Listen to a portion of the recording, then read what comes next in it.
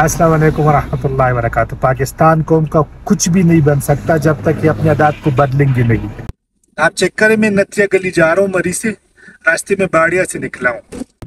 मैं बाड़िया से निकला हूँ, रास्ते में बच्चे मिले वो चिरी बेच रहे थे, हमको तीन दिखाई बड़े बड़े दिख रहे थे। मैंने कहा, सौ की तीन, बहुत उम्दा, बहुत ही सस्ती, क्यों न तीन ले ले? जब हमने चिरी लिया तो उसमें से एक सिर्फ़ एक दाना खाने के काबिल था, बाकी सारे खराब थे। बाकी सारी पत्ती हैं, ये सारी पत्ती हैं, देखो। इस धोखा देने के लिए है। जब हमारे बच्चे गली पे सौ रुपए के लिए इस तरह के धोखा देंगे तो हमारी कौम कैसे आगे बढ़ेगी? जब हम इस तरह के मामला करेंगे, हर कारोबार में हमारा हर कारोबार डूबेगा। हम मिन हैसुल कौम डूबेंगे। जब हमारे बच्चे सौ रुपए के लिए इतना धोखा करते हैं तो हमारे बड़े बड़े कितना धोखा करेंगे?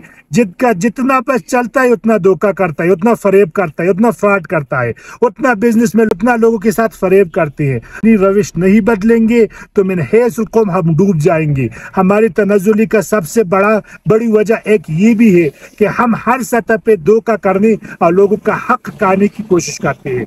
ये है सबसे छोटी मिसाल, लेकिन आप इसको सब पे कियास कर सकते हैं। अपने रविश को बदले, वरना हम डूब जाएँगे डूब जाएँगे हम।